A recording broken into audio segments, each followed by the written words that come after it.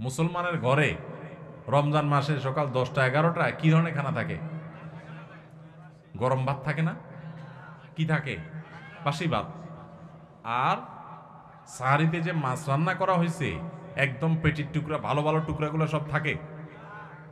থাকে লেঞ্জা মাথা হ্যাঁ? ছোটখাটো টুকরা কাঁটা কুটা এগুলা, বাসি তরকারি, তাই না? আর গোস্তের পাতিলেরও একই অবস্থা। বাইসা বুইসা সব সাহারিতে খায়া হাড্ডি হুড্ডি, চর্বি চারবি এগুলা থাকে। যেই ছেলেটা রোজা ভাঙে, ও কিন্তু খাইতে পারে। এটা ঠিক যে ও খাইছে, খায়া পেটটা ভরে ফেলছে, ও এখন খুব সুখে আছে। কিন্তু কি খায়া পেট ভরছে? বাসি খাবার। মনে রাখেন কিন্তু এটা কাজ আছে সামনে। বাসি খাবার খাইলো, তাই না? বাসি খাবার খায়া এবার ও লাফাচ্ছে, দৌড়াচ্ছে, খেলতেছে কারণ তো খাইছে, পানি পান করছে, রোজা ভেঙে ফেলছে, ও তো এখন সুখ। আর ছোট যেটা আট বছরের, ওর কি অবস্থা হয়? সময় যত বাড়তে থাকে, তার কষ্ট বাড়তে থাকে। বারোটা বাজে, একটা বাজে, দুইটা বাজে, আস্তে আস্তে মুখটা শুকায় আসে। খেয়াল করেন না? মুখটা শুকায় আসে, ছোট মানুষ। বলতেও পারে না, সইতেও পারে না, এদিকে রোজা আছে।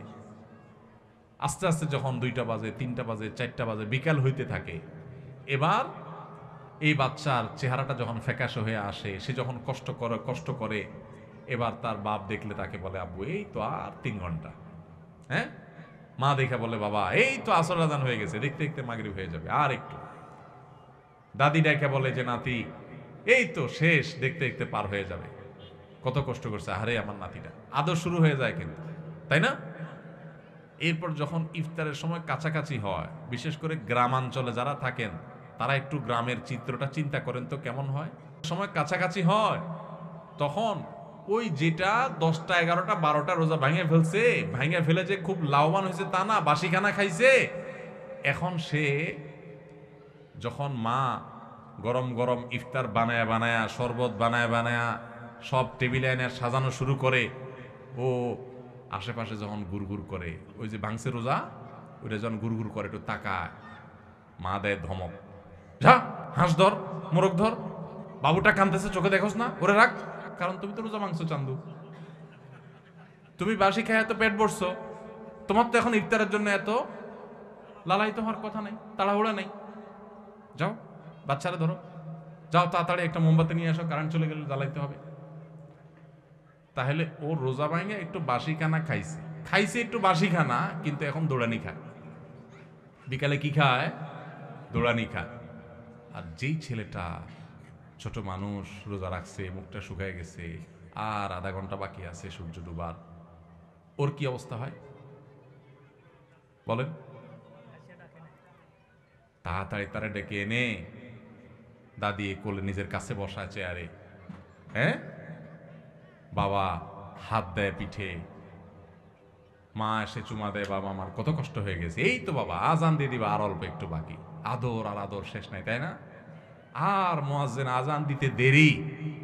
তার খানার আর দেরি মা শরবত আগাতে বাবা আগে শরবতটা মুখে নাও। দাদি খেজুর আগাতে বাবা আগে একটু খেজুরটা মুখে নাও। বাপে পেঁয়াজি ধরে রাখে। বড় আরেক ভাই বোন থাকলে তারা আপনার চপ ধরে রাখে, আরেকটা ধরে রাখে, একটার পর একটা খাওয়াইতে থাকে। তুই খা, বাবা খা। আর ওইটা যদি কাছাকাছি আসে, দে ধমক। বাচ্চা কানতেছে, দেখোস না পিছিটা ওরা ধর। হয় কি হয় না বলেন? ওই যে ধমক টমক খায় দৌড়ানি দাঁড়ানি খায় বেচারা। রোজা ভাঙ্গা সে কিন্তু মাগরিবের পর আজান হয়ে গেলে, নামাজ হয়ে গেলে, ওই ডাইনিং টেবিল থেকে ইফতারি সবাই খায়া টায়া যখন ওই বাইসা বুইসা থুইয়া দেয়, বেগুনি যেগুলো ভালো ভালো বাসা হয়েছে ভাজা হয়েছে এগুলো তো সব খাওন শেষ। যেগুলো কোনা কাঞ্চি পুড়ে টুড়ে গেছে, এগুলো রয়ে গেছে, নামাজের পরে এবার ওরে বলে আচ্ছা যা, তুই একটু খা। ঠিক না বে ঠিক? রোজা যে ভাঙছে, ওর কপালে খানা জুটে, কিন্তু সেটা সকালেও বাসি, বিকালেও আর যে কষ্ট করে রোজা রাখে, তার কষ্ট কিন্তু হয়। চেহারা কিন্তু শুকায় যায় জিব্বা কিন্তু শুকায় যায়। অনেক কষ্ট হয়, কিন্তু কষ্ট করে যদি সেই রোজাটা রাখতে পারে শুধুমাত্র, তাহলে সূর্য ডুবার আগে থেকে তার আদর শুরু হয়, মায়া শুরু হয়, কদর শুরু হয়। সূর্য ডুবার পর তার খানার খানা আদর আর আদর, যত্ন আর যত্ন, ঠিক না বেঠিক? ভাই আমার, এটা হলো রমজানের রোজার অবস্থা। রমজানের রোজাতে রোজা ভেঙে ফেললে তার পরিণতি কি হয় আমরা দেখাইলাম। আর যে রোজা রাখে তার সুফল কি সে পায় সেটাও আমরা দেখাইলাম। এবার আসেন, একটু আগে আমরা বললাম, রমজানের রোজা হলো চোদ্দ ঘণ্টা, পনেরো ঘণ্টা, ষোলো ঘণ্টার রোজা। আর আমাদের পুরো জীবনটা হলো সারা জীবনের রোজা। আল্লাহ আকবর। সারা জীবনের রোজাও ওই রমজানের রোজার মতো অনেকে ভেঙে ফেলে। কীভাবে ভাঙে? আসেন এবার বুঝি। আপনার সামনে দুই নম্বর পথে উপার্জন করার রাস্তা পাইছেন একটা। চিটারি করে মানুষে ফাঁকি ঝুঁকি দিয়ে ইনকাম করবেন। আপনি খারাপ কাজ করবেন, সুযোগ আছে সামনে। আপনি সেটা যদি করেন, তাহলে আপনার জীবনের রোজা ভেঙে ফেললেন। আর যদি বলেন, না, আমি তো ওই যে জীবনের রোজা আছি, আল্লাহ যে নিষেধ করছে এগুলো করতে, এই জন্য আমি হারাম করব না, আমি যাব না অন্যায় পথে। তাহলে আপনি জীবনের রোজাটা রাখলেন। কথা কি বুঝতে পারছেন? যদি জীবনের রোজা কেউ ভেঙে ফেলে, ওই রমজানের রোজা ভেঙে ফেলছে যে ছেলেটা, ওর মতো করে জীবনের রোজা ভাঙলে সেও একটু মজা পায়, একটু বিড়ি খায়, একটু মদ খায়, একটু হারাম খায়, একটু চুরি করে কামায়, একটু গালে দিয়া মনে জাল মিটায়, মানুষকে মাইরা মাস্তানি করে বাহবা আপনার বাকাওয়াতি জাহির করে।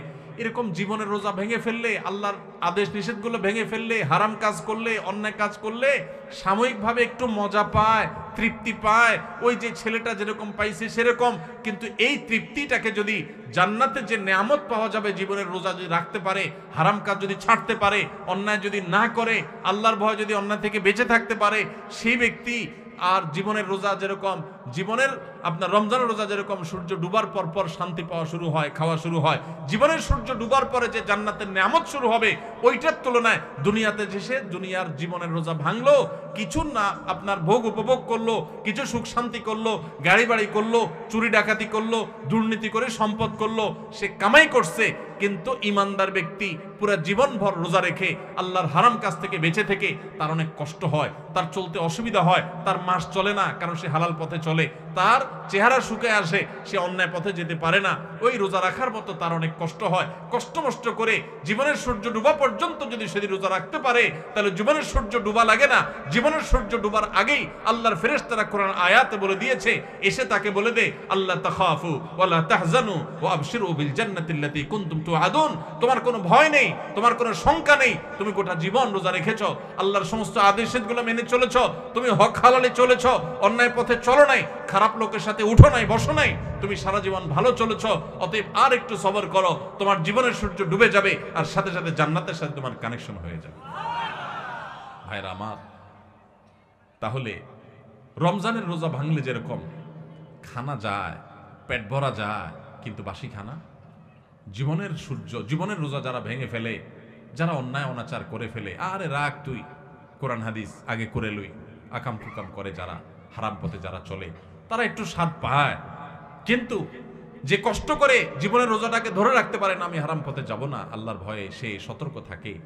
ওই ব্যক্তি তার জীবনের সূর্য ডুবার সাথে সাথে তার যে আল্লাহর পক্ষ থেকে জান্নাতের ইফতারের ব্যবস্থা থাকে, সেই ইফতার ফেরেশতারা যখন তাকে আদর করে খাওয়াতে থাকে, তখন ওইটার তুলনায় দুনিয়ার এই যে সমস্ত গাড়ি, বাড়ি, চুরি, ডাকাতি, দুই নম্বরই করে যারা কামাই করল, এগুলো হলো ওইটার তুলনায় ওই বাসি খানার মতো। রমজানের রোজা ভাঙছে যে সেই যেরকম সন্ধ্যায় দৌড়ানি খায়, জীবনের রোজা যারা ভেঙে ফেলে, এদের মরার আগে থেকে ফেরেশতাদের দৌড়ানি খায়।